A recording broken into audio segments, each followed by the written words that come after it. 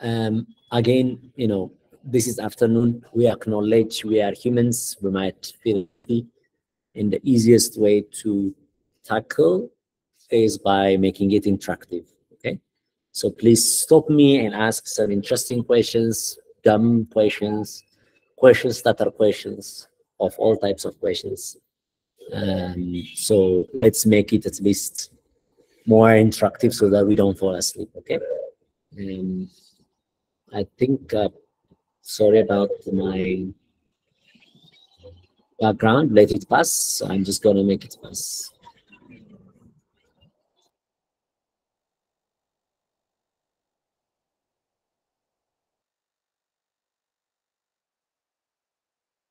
Yeah, Kerod, Kerod, that's really okay.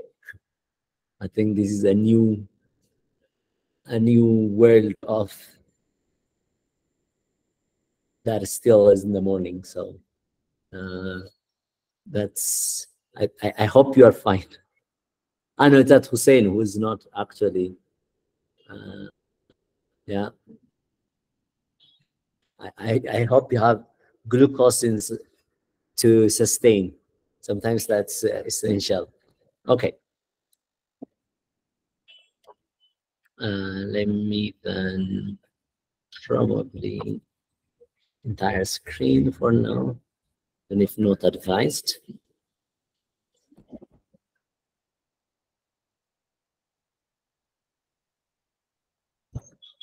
Okay, so you can see my screen. So again, as I said, uh, because I can't uh, hear, so what you should do, is, I can't see text if you send. If whenever someone sends text, Rodas or whoever, then academy team that's there, please just read it out for me or just uh, make sure that I, I see it. Because right now I am on another screen and I can't see unless uh, someone tells me. Okay.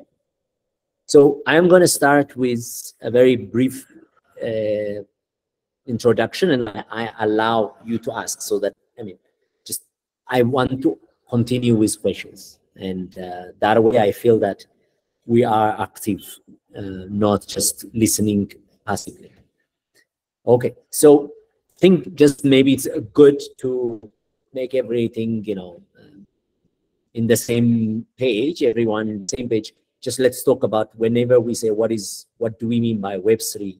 because this is sometimes and what is web 2 and what is web 1 right so i think this hopefully most of you have a basic idea but web 1 was of course just the one before the digital the facebook type of world where it's much more of um, interactive. And that is that was dominated by the usual static sites and that was there like in html pure. And um, you know, a lot of that one was just another very good description for web one is it's like if you think of it as permission, it was only read permission, web one, which means anything that you have in Yahoo, Netscape, or Internet Explorer, if any one of you know what they mean even, uh, they were basically allowing you to read something, to see something, right? You have your computer, there's a you know, you have a read permission, you do that. And web two is defined by read and write. So basically, not only you were uh, reading, but you were actually writing data. So that means your data is collected as cookie, cache, you know, this and that. So everything, you, your activity is writing as well. So reading is writing as well.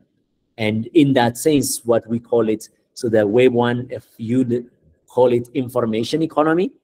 Web2 started the platform economy. And by, by platform, that's what you would know, you know, Google Docs, you know, uh, Facebook and Twitter and all of that that you know, YouTube, and just including, you know, the WordPress types and many other platforms.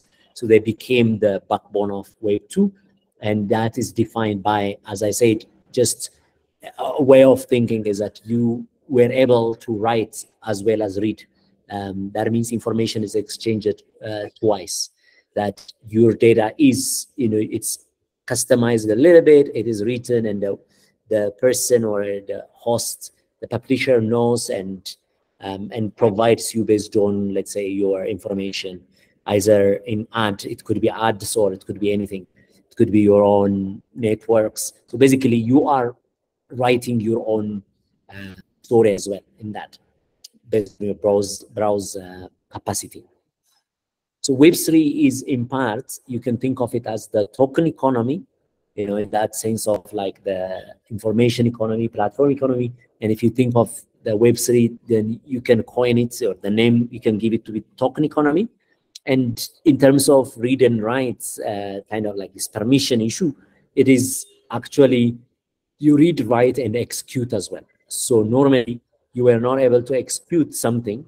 Now your data, your browse, your activity is also actually executing uh, something special. So something that is not designed by, you know, inherently by one person, but it's something that was specified a priori, uh, and you are, by visiting it, you are executing. That's kind of in smart contract sense, as well as every transaction is being executed in the blockchain. So that's, so basically, um, in Web 2, justify rephrase, users can be blocked by owners because they were not able to execute and change. Uh, and payments is managed externally, while in Web3, no one can block you or deny you access to the service because you are the one who's executing. And therefore, basically, there's no one to block you because you have more than read and write, execute as well. So basically, you are doing as pseudo uh, part. And payments are, of course, built in, in via the native uh, token. Uh, in this case, for example, you know, Ether or Algos or others. So that's so. Let me then continue. So that's. I hope then you are we're all on the same page when we say Web two, Web three. In Web three, it means really that this is a new type of um, it's adding execution capacity, which means giving you a pseudo uh, type of permission uh, to your previous the web 2 which is basically that you are a user of some platform. So what is the blockchain technology? You know it's of course it boils down. It's not that complex in in its principle. Its principle is is identifying that records are the backbone of everything. And ledgers in this case which maintains records are basically what you can think of them as every blockchain, in particular, especially the Bitcoin. It's basically the record itself, recording itself is is everything. Um, so ledger, as it's defined, it's the principal book or computer file for recording and totaling financial transaction by account type with debits and credits in separate columns and a beginning uh, monetary balance and ending monetary balance for each account, right? So, so this is basically the the essence of it. Like it's basically the record itself is a machine. It's you know in the past we were thinking as you know we were devising tools to record, but we under we were underestimating that the power of record itself, recording in a, in this way, the ledger itself is actually a machine in its own with um, because it contains everything. So that's we will come to that. So the ledgers are the fundamental blocks that basically you are recording something and storing that uh, in a certain way gives you basically powerful. I mean, it's just another form of database. It's just a database, but it's another form of a database that actually becomes its compute itself as well. It contains a much more um, interesting feature and dynamic uh, nature. And so another building blocks of blockchain is contracts. Like I've been thinking earlier, I said is just ledgers as one fundamental block, and the other one is contracts.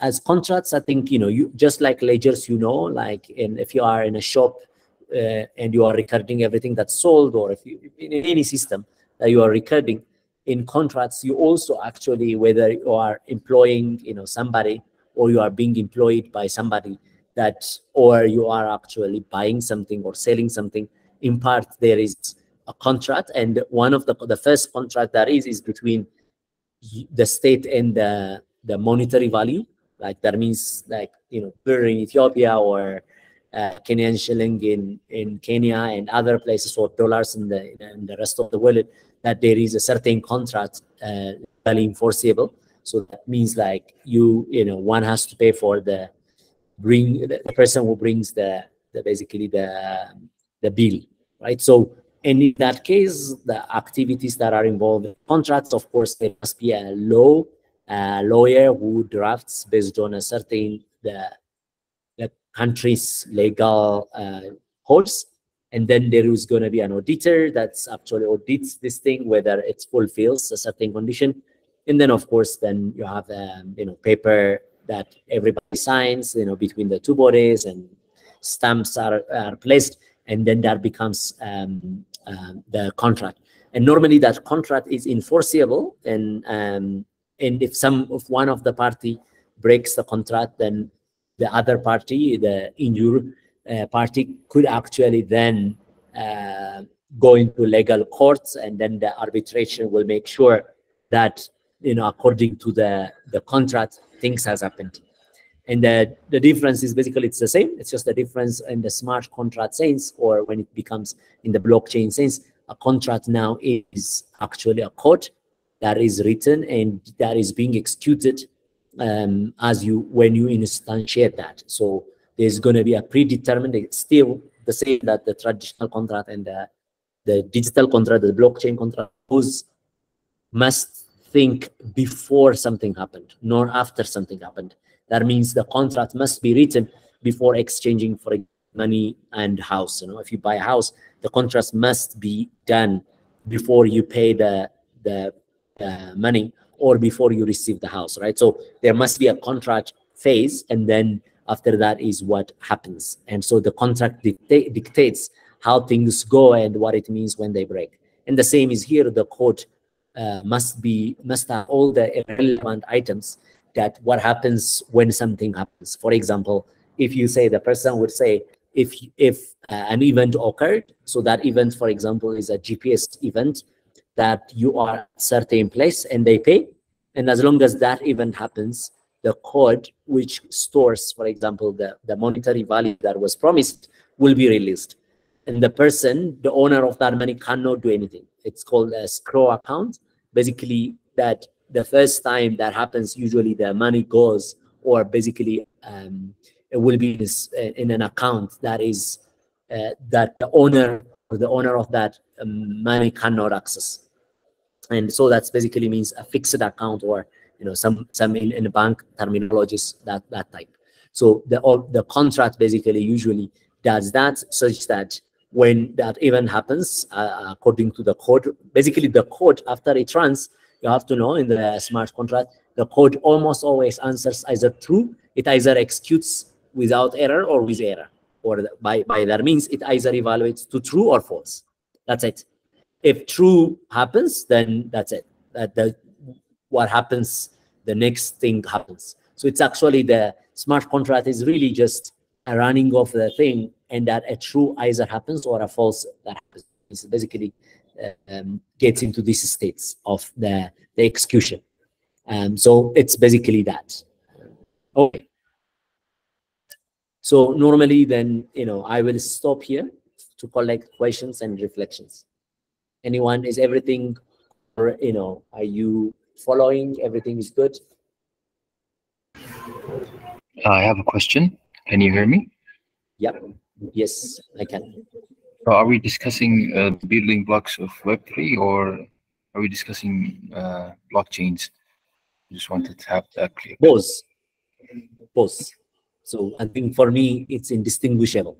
Um, that blockchain is basically how the blockchain works. Is uh, So you will see just now, this is much more of the introduction of what the, you know, the building blocks of uh, contracts and um, ledgers are building blocks of uh, blockchain, and which which is a building block of in itself Web3.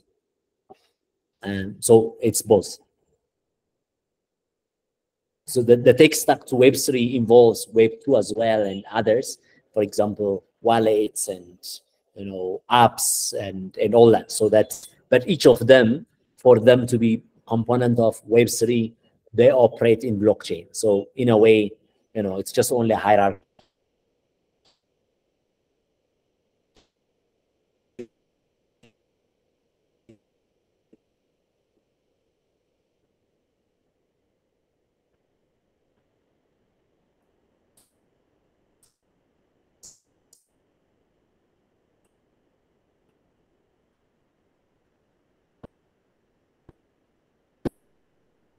Chain artifacts, it gets a little bit, you know, detail, right? So you have to understand sometimes the bigger picture at, within this case, because every time you traverse hierarchies of complexity, and the complexity at this level is the understanding of how the blockchain uh, is kind of like you know how it's it's there and what what elements are are connected. I mean it's not like a purely non-existent. It was just there and digitalized in some form and then of course improved uh, for its limitations. So one of for example the usual um, without blockchain what happens is of course there is almost always we never thought that's a problem but normally that's a problem as you know when you have a billion dollar um, or when you are, you know, when you are different, when you are rich, or when you are, you know, when you are not just a normal person, things becomes much more. For example, if you are a person that is, um, let's imagine your country is, you know, a dictator, and you want to make sure that you are not being um, let's say you want to have your own freedom, you want to have your own funding structure, scheme structure says that you can actually work to try to improve a system without being limited. In that case, for example, having a third party like a bank, you might not like. If you if you have a way, you will. And this is this happens in a normal life. So almost always at your level now, you might think these are not relevant because you don't have the problems. But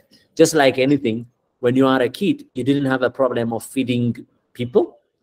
Um, but you grow up to become adult, and then you have now a problem of feeding other people, maybe helping your family, right? Because when you were a kid, you didn't. So time changes. And so thinking only problems at your level usually limits you from understanding others. So this is one case where you have to open up for this possibility that just like you change at age, your status will change where you, you know, you banks becomes a problem to you as well. Or that means a third party which is regulated becomes a problem to you, even if it's not only for a criminal thing, but for non-criminal, for something that is very, you know, life-changing. So in this case, for example, one of the, the, you know, the traditional way of financial transaction is that there is a third party, which is called a bank, normally designed, and that whenever you are transact making transaction between you and another person, whether you are paying or receiving money or doing something, then you trust between two of you, what happens with that value is that you trust the bank does the right thing. And the bank always, you trust the bank, you know, it will always do. It will keep the money, will not take the money. It will not change the, the value. If the person sends and then you are acknowledged that 10,000 is sent to you, but uh, the bank doesn't take, for example, 5,000 and at another, because you, you trust the bank. So that's what's called trust. You trust the bank does the good work right, of keeping being faithful. You would not assume that the bank would steal from you. That's called trust, right? So in this case, both of you, you are using that third party, even if you don't sometimes think it exists, it exists, and it does, you know, a number of things. But, you know, if you, it validates entries, whatever is transactioning, and then it safeguards entries that whatever is transaction is written, and then it preserves history records so that your money is not lost. For example, if a person sent you, you know, uh, five years ago, a million dollar, you know, and you were in hospital, you couldn't access it, or in a prison, you couldn't access it, and you come out after 10 years, you know, that your money must be there. That's what trust is.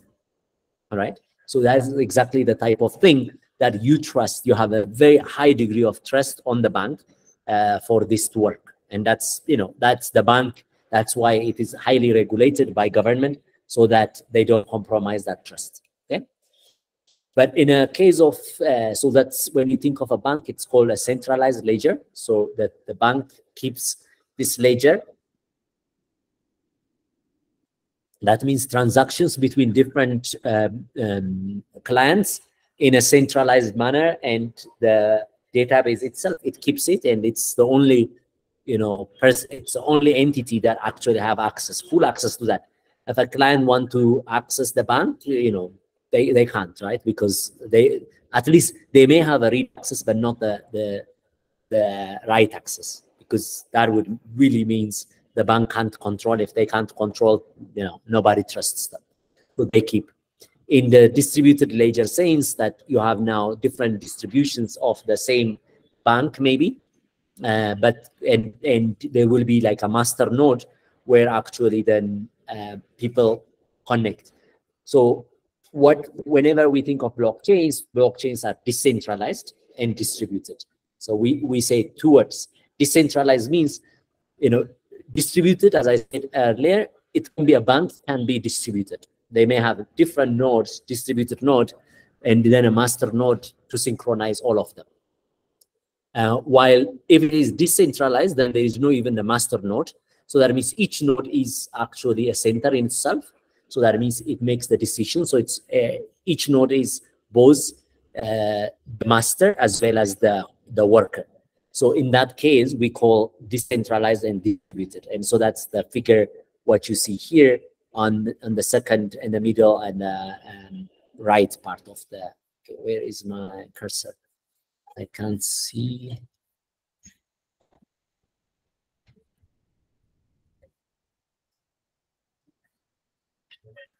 Mm.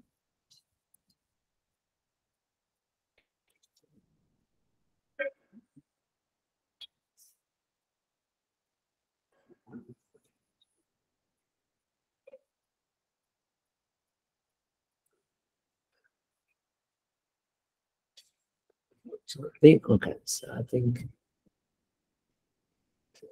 okay. Okay, so um, in distributed, so so the key then component to solve is, you know, in the distributed system that we know it's not again new.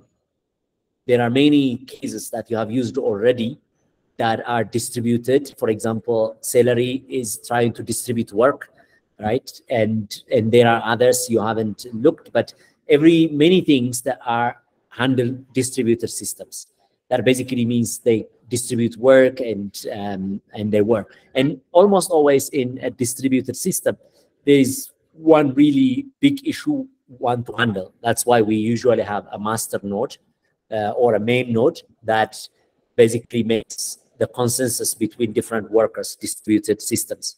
And so the components so that um, like in such a way that they have the same decision, right? So that means you know, if if a main, for example, node fails, you know, they have to elect a leader or agree on the balance of, for example, you know, you you have a distributed a bank can have a distributed system. Now you make a a purchase somewhere or a transaction some some place, and it's written in one of the node. Now you move quickly to another place, and you are now wanting to uh, get you know because money comes into your account now, on another in another place which accesses another note, you want to take out that that that cash. So unless the, these two different distributor systems, unless they actually have um, consensus, uh, then you will not be able to do that. And that's what's called consensus. They must a distributed system must have a consensus system such that they actually make uh, decisions together, or that means uh, they don't conflict. So in that case, there are many um, um, there are many many places, many systems that are designed to actually uh, just one moment. I think let me close.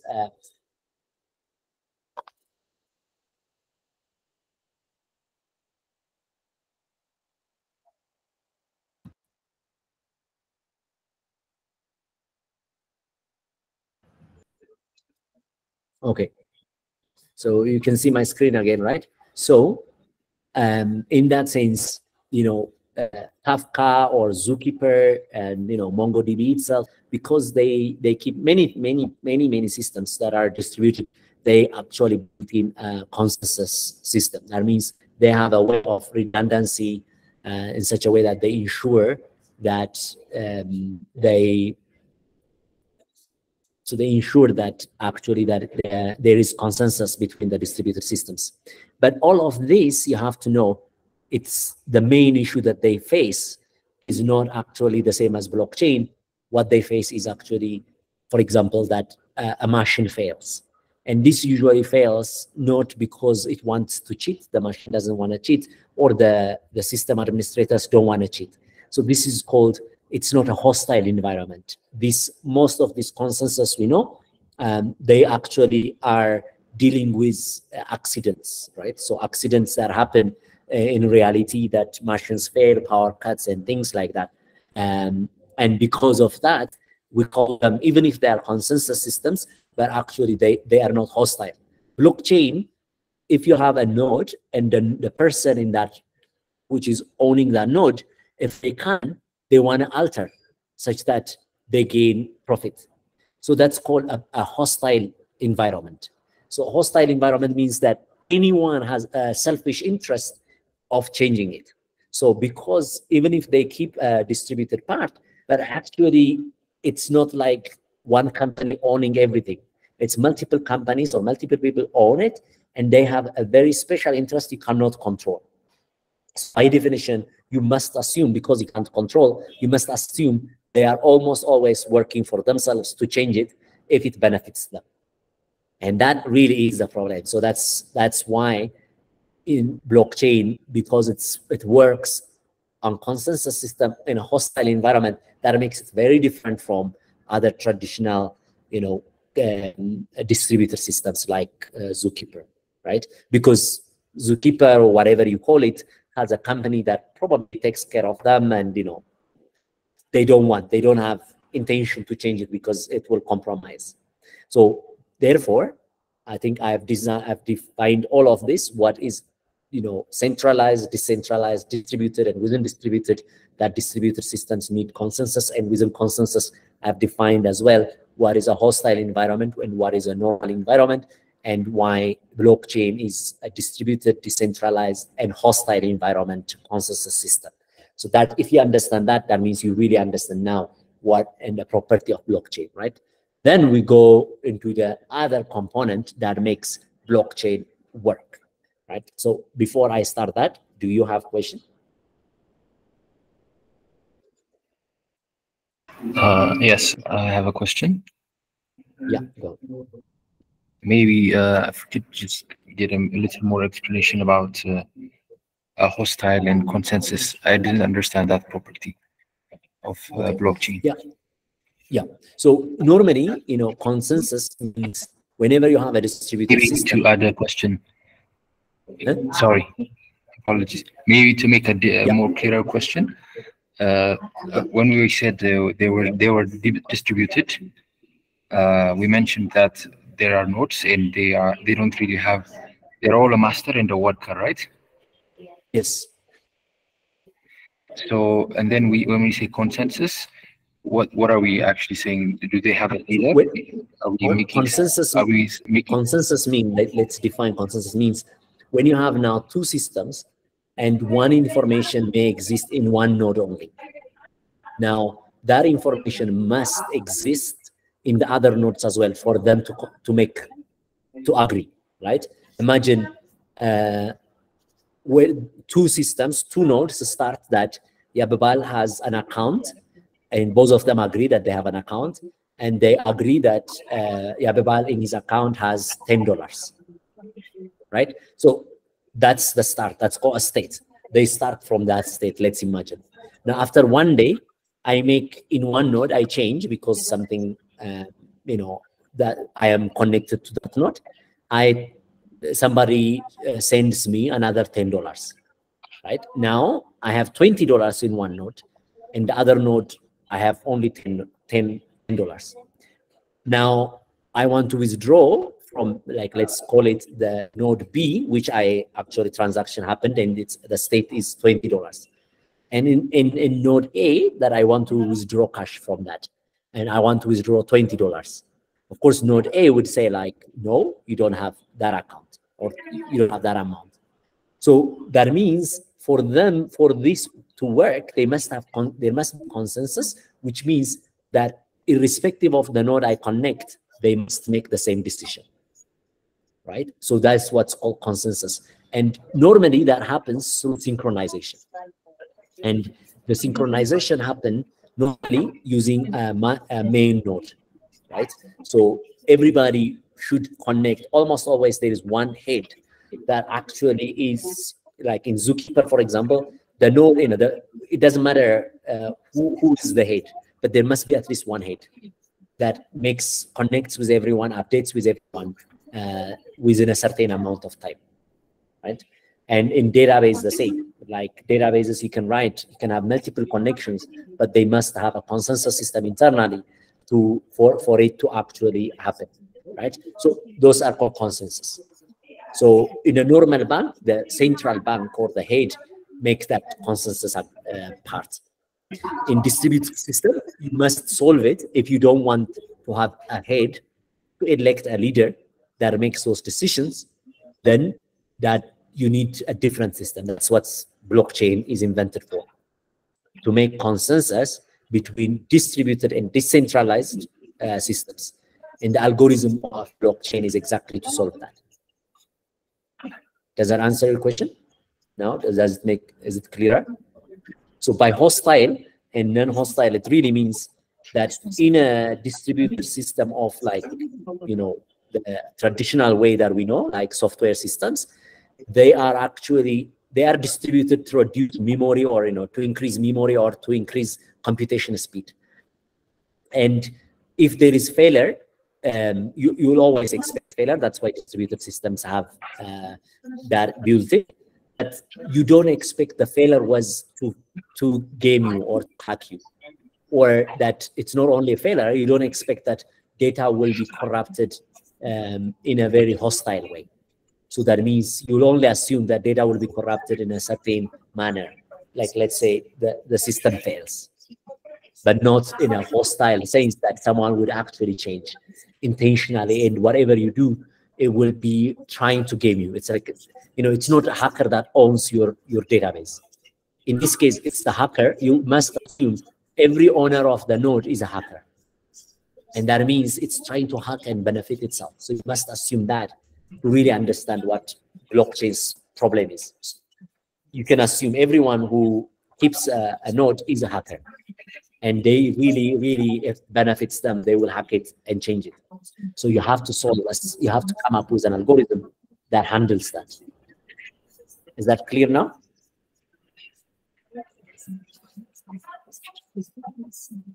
Uh, can I get a feedback? Is that clear or? Okay, because I can't see, so that means I'm assuming that's it. Okay. Please, Abela. Yeah? Yeah, please, Abela. Uh, uh, Yeah. I have a, a quick question regarding the same thing.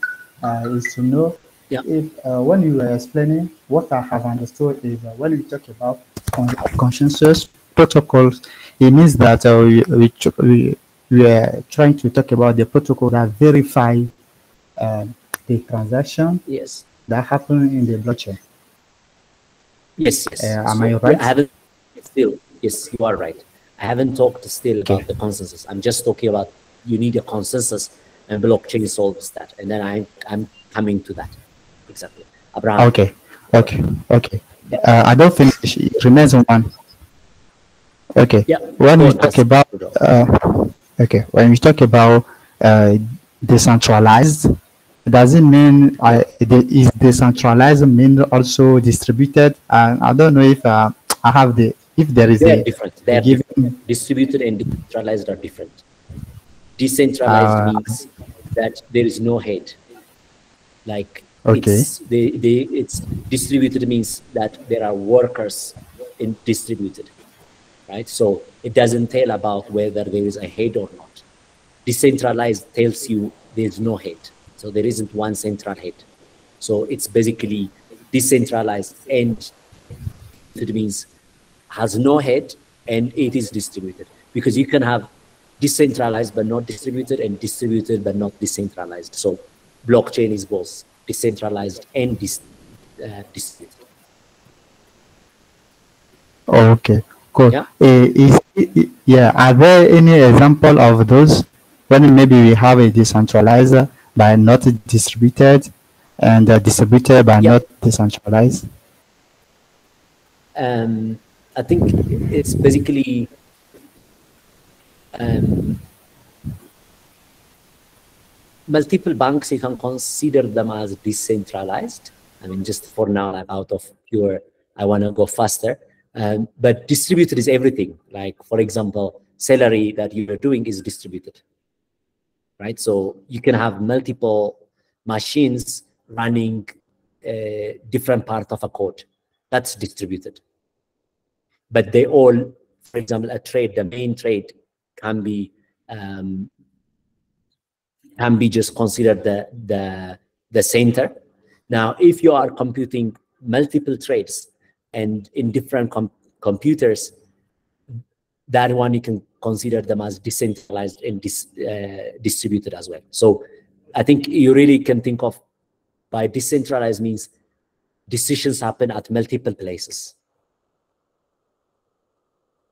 and it the computation can happen only in one place so there is only one place make the computation but you actually have the outcome of different decisions happen in different centers you know and distributed um, distributed is the other side you have distributed computing but decisions may happen in one center. Right? So I think any system, I think there are millions of examples, so you can search it.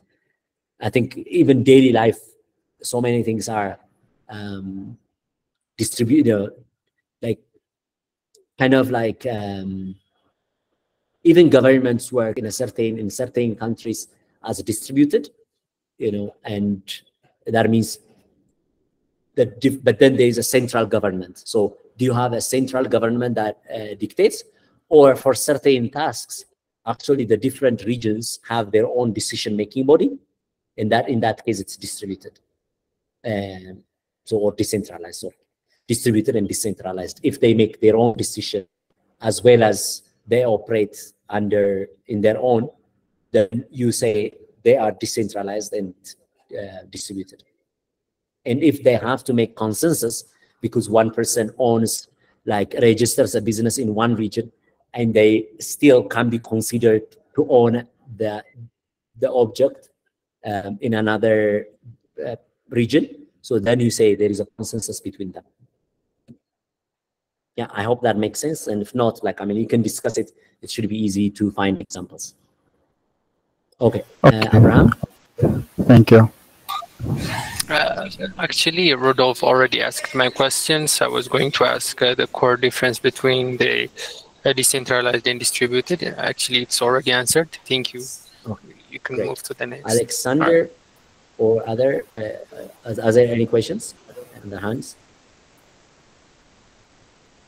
Vasilel, yeah. Uh, so I'm not exactly sure if uh, I've got it. Um, so, in order for all of them to um, to work together, um, you we need consensus, as you said. But Yeah. does that mean that every node has every data, and wouldn't that just In be too much yes. data? Wouldn't that just be like? Yes. I mean, if you keep if you keep historical data, Everybody has, along every, with everybody like, data. yes, yes, everybody must have everybody's data. And that's called a full node and a light node, whatever, that's more to simplify. But there must be the same data everywhere, the same database everywhere in a certain way. And there must be a, uh, an algorithm in the system that that uniformizes or synchronizes. So yes. Oh, okay. Um, is too So much we data? can- though? Oh, I don't know, but Yeah, it, you know, don't- don't- you know, the, it doesn't matter. But that's why they keep it. For example, Bitcoin is really only a few bytes um, per, per per per block, And if you count for all the blockchain exchanges, like in Bitcoin, still maybe is not, let's say, some terabytes more. It is a very small still because it's text based and you don't store. That's why you don't store things in blockchain because you want to really make it very, very light. Um, and for that reason, Ethereum is much, much bigger in terms of the amount of data than, for example, Bitcoin and things like that. So yes, it's a lot of data, but you know, who cares? The world it operates what is possible, not based on, you know, saving data memory. And of course, design helps you to elevate that, but yeah. Okay. Um, Alexander, I assume um, So uh, yeah, it's basically, of course, we, we sometimes count uh, actually really separate systems. I mean, if they, you know, in, uh, this is called randomness. Like uh, you must ensure that it's random um, and it will always be random if it's adopted well. So that's why a blockchain that's not adopted well or there are only two nodes is of course a problem. Because those people know each other and they might they might actually change something, right? So it has to be adopted uh, to make sense. Okay, so let me proceed. Um, because I think these are much more. Now we start to the the you know the smaller details. So of course the very very very very key and every every everything that you know about in the wave that is working, whether you call it um, SSL, you know, just your HTTPS, or whether you call it SSH anything that secured the system works because the, the mathematical principle allows us, and that is called cryptography. And the cryptography basically is, you know, all the research since the 1980s and before that as well.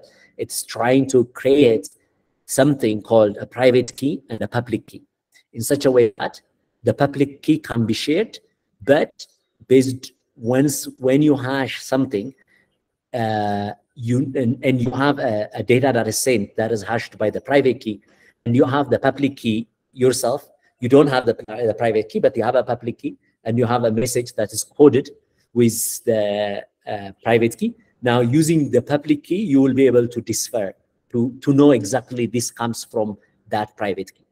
And this is the mathematical truth that allows us to do all of it so if you really everything that you can think of is made because of this principle, that the, crypto, the cryptographic principle.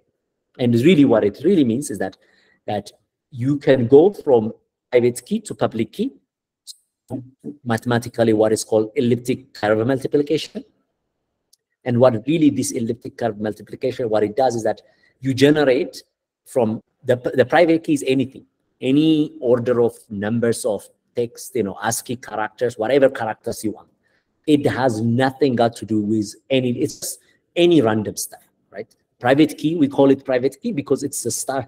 The difference from that private key and some really A, B, C, D, E, F, G, Y, J that I just called, that can be also a private key. But the only difference is that now, if the public key is used for, you know, for for something else, then I call it a private key. So don't think of private key as anything other than just some combination of random. But once that generates a public key and, and then that public key is shared if you lose the private key, you lose everything that you have sent through that is, is lost, right? So the private key basically is, you know, it's random to start with. It has no meaning in itself, but it will have meaning once it the public key is shared and that data is hashed by it, or that means that you hash something with it. And because once you hash that thing, the only way um, to every time to communicate is through that private key, just like like SSH key. SSH key is also the same private key, public key component. And what and the reason the really why mathematically it was proven it would take millions of years of for any the, the biggest computer even in the world in the classical computer um, to go to randomly try to to go from public key to private key so it's almost impossible it's not only almost, it's impossible to go from public key to private key. Quantum computers are slightly different. People are trying to solve also the same private key public key generation that cannot be broken as well by um, quantum computers. But so far has been only in the classical computers. But what really makes it that from private key, you generate public key, and that you cannot, anyone, you can share your public key, but no one can go to reconstruct your private key because of the mathematical nature of it. And, and every time you hash something, one knows that's you by using the message that you sent and the public key. It's again the property of this, this mathematics that they can actually then know exactly if the two, if the public key was generated by the private key, then it will it will read the message. No one else, no one else can uh, can read that message, right? So that's basically it's a verification process. So that is now to go from public key, which is just what you share to the world, sometimes just so that also to add a next layer of privacy, instead of changing uh, only sharing public key, you can, but in blockchain, there is also another layer. You hash your public key to create what you call Bitcoin address or basically blockchain address.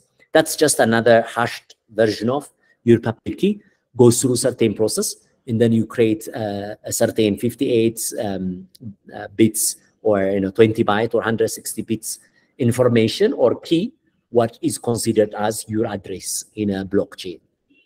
Basically, um, because every every blockchain which creates your bit address knows from that also to go to decipher your message. Um, so that's basically that's exactly uh, the case. And this is the heart and heart, and I cannot overemphasize. This is it. This is just one one like innovation of blockchain, right? So the heart of everything, not only in blockchain, actually in all in all secure transmission and and trans uh, transactions. Okay, even banks use that. Everybody uses that, but it's also the heart of blockchain. Oh, um, and how you know I would um, go into just a simple demo that um, do I have it's not here it's generated here so there is I shared with you this um, this one uh, you can play just to have a to have a feeling of and it's also in the slide so you you also have the slide that is shared so that basically um, you basically whenever I hash something you know, the empty part is hashed like that. This is the empty part of it. Just a simple, even an empty string can be hashed because it's just, uh, so this SHA 2056 to 56 hash, which Bitcoin uses is basically hashed everything. So if I send a message, uh, anyways, to himself and selfish, then you see like the message, this one is hashed in this form, right? So it's basically this this hash is collisionless. It's basically whatever you write, it's basically you generate a hash, and that's basically the content of what is a hash means. And a block is a series of hash. So if I look at one block, so and I choose nonce, I will come later to that, and you add data. So transaction uh, TR1, TR2, TR3. So this is the data. Now, but to because a block is not just a simple hash, but it has to solve. A block is actually you add something together to hash it in such a way that you have to have n zeros. Um, so in this case, for example, let's mine it. So that's called mining. So the real mining is a normal hash of this data is actually this one. You have seen it. Um, you have seen it earlier. So whatever data I add, it's not it's not mined means in blockchain sense, it's just a simple hash. But the, the hash to be mined means to add some, you know, to add, this is a difficulty, to add something in such a way that some zeros that the difficulty level dictates how many zeros, how many, the big, the starting uh, value of the hash must be n zeros. So let's mine it and see. So when we mine, and you see that now this nonce we, we searched for this nuance such that the, the first four digits are actually zeros. That's called mining. Mining is with a difficulty, sometimes the difficulty is 30 zeros that in the beginning. That's called really, you know, Bitcoin now is about between 30 and, you know, between 25 to 35 uh, digits of the beginning must be zero. It is searching that nonce, this part, that makes this hash, when you hash it together, it converts this hash into the first n, n digits are zero, right? So that's really what is called a mine, you know, just when we are mining, okay? So, and blockchain is basically, uh, I am fast, I'm going fast because, you know, uh, I needed to go. So I'm trying, so blockchain means now when you are hashing, so the first chain, you, you first block, you know, you have a data, you have a nonce that you search that actually the, you know, the previous one was this, we started from a previous one and the hash is zero, it's mined. Now, this one is also mined because, and then it's mining not only itself as before, but it also mines by taking the previous, the previous block hash. So the previous block hash was, as you can see here, one, uh, four zeros and 157. As you can see, four zeros and 157, right? So this is called, now you are hashing, you're creating chain because you are adding the previous block's hash as data to the next one. And then you hash them together, you search for that, and like that, and like that, and like that. So that's called the blockchain. Okay, so you start from a hash, you go to, you create a block, and when another block, you know, the next block takes the hash of the previous block, then it becomes a chain. Okay, and distributed means basically now you have peer A that has its own block, you know, as you see, peer B, it is another block, and peer C is the same. And of course, in principle, you want them to have consensus uh, between them. And tokens are, again, um, basically what defines in this transaction. And the transaction defines what actually token you have.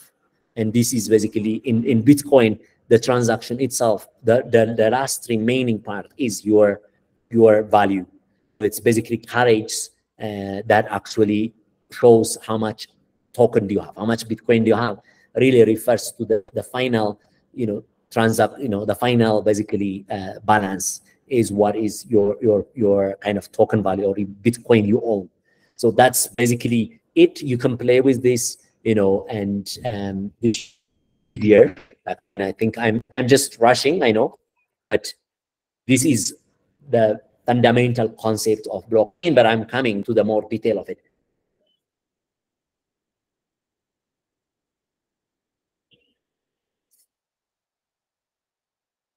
Abraham, do you have a question?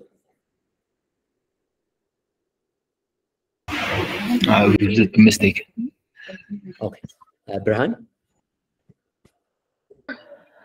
Um, my question is like I don't really get the distributed part. You said there is peer one, peer two, and then things like that, but I don't get to understand it. Can you go over it again if you, if you have the time? Which, which one?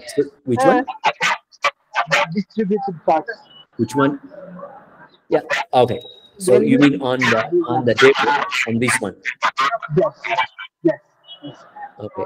So so here basically, as you can see, so the the first peer contains 157 and the second peer is also contains 157 peer a and peer b. These are distributed you know these different nodes. So that means there is they are in consensus. Block two is also um, they have block the same block in block two. And in block three the same right? Now imagine i am i want to change. Imagine there was a transaction here that is contains me. Someone sends me ten dollar in this block.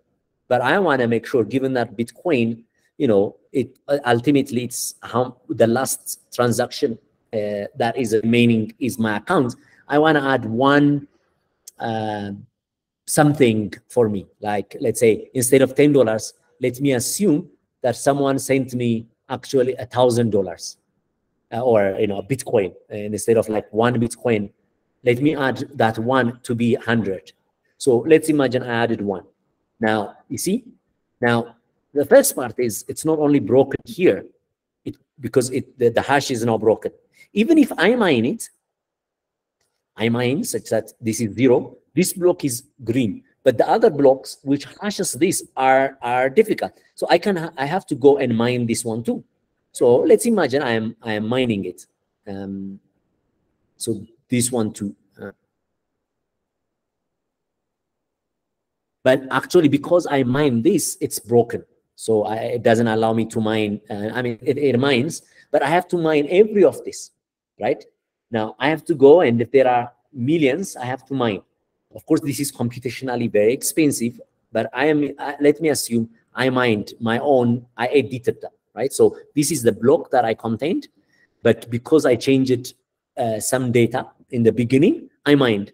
Now, peer A has now, as you can imagine, it's peer A's uh, block one has 40 and 89. Peer B has 40 and 15. You see, now they have to reject. Peer C has the same as peer peer B. And therefore, we now don't have consensus because our, our blocks are very different. So that is why in distributed system, that basically consensus must agree. And given that I, you know, I am the outlier, normally it's considered, you know, that I am the outlier, I will be rejected. So they will be trusted. And, and this is the simple hand waving, but there is a much more algorithm that says which one you cannot do this. So there, that's what really blockchain is in a distributed sense. Because if I had the only one, if I'm centralized, and if I'm the only one who have that, I would have edited and you know I would cheat. Does that make sense now? Brahan? Okay, great. So let me proceed. So you can play with that, okay? So in blockchain, what are transactions and blocks? Blocks you have seen. So how blocks are started is that many clients, including you and I, can make transactions. We can buy Bitcoin, sell Bitcoin, and all of that, right? So all of those transactions would be on would be in a called in a unconfirmed, unordered transactions. And the miners, as I as I said earlier, select a subset of this on the right side. I, am I'm, I'm sorry that my um, my uh, mouse is not working, so I cannot show you. But in the in the cloud sense, these are all transactions that are coming from different people transacting happening and miners select a subset of them. There is no order, just they choose only who who reward this a lot. They they choose based on that, and then they basically try to mine. And and then there is the, the first person who mines because it's computationally expensive. The first person who mines gets the reward and goes on and adds it into the block. That's how it goes. So a blockchain basically is formed because people are mining. So whenever you think of Bitcoin mining and all that mining is exactly solving uh, earlier, as I said, finding the first n digits to be zero, right? That's what uh, mining is because you are searching for a number that makes that. And that's what your proof of work. I am again, and so in blockchain, a block element actually then um, in Bitcoin sense, it, it, has very, very, but this is, you know, I'm not, it's not an example. This is exactly what Bitcoin is, right? So it basically has any block has uh, n data. So the first data is the version of that, then a hash of the previous hash, and then a Merkle root hash. This is basically all the transactions that are in that block will be stored in a Merkle tree. So basically that tree is the transaction will be at the bottom and then they form a tree until they have the first, the, basically the node, the, the one node that's on top. The hash of that is called the Merkle, you know, the tree is called Merkle tree, and then the hash of that is called the Merkle root hash. That is also in the block.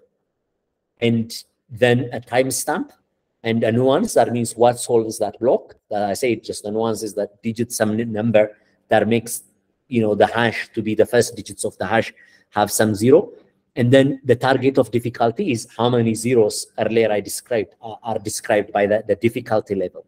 Okay. And this is every block, if you examine Bitcoin, that's exactly what you get. That's it. Nothing more. Okay. So that's that's block blockchain in Bitcoin. And basically these blocks are existing. And because the transactions are stored in Merkle tree, that's it. In the block, it's stored somewhere.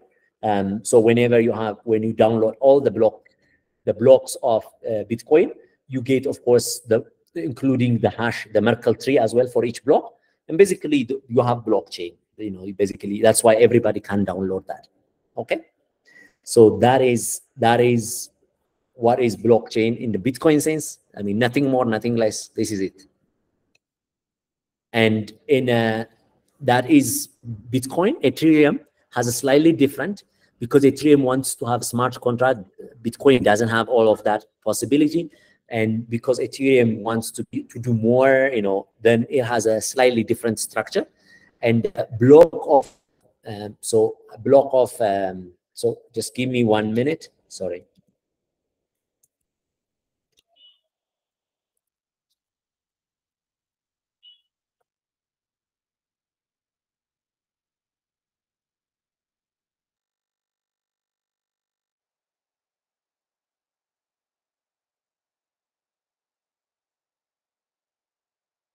Um, so unfortunately, I have to go. I will continue, but the the Ethereum is slightly different because it stores multiple things. Also, it has account, it has states, and all that. We'll continue, but um, it's this is much more of an introduction. Hopefully, you can go through yourself. You can check the different um, um, uh, parts of uh, this presentation, and tomorrow I will continue just uh, in the beginning of in the morning and hopefully uh, you have gotten now an idea. And I'm sorry that I have to go and the time. That's why I, I, I started earlier. But please keep these questions. Please post these questions to Slack so that we don't forget it tomorrow. And uh, hopefully, though, it highlights what is actually blockchain and you know the way to think. Okay, thanks so much. And um, yeah, I will connect tomorrow. Cheers, guys, and sorry for early um, leaving.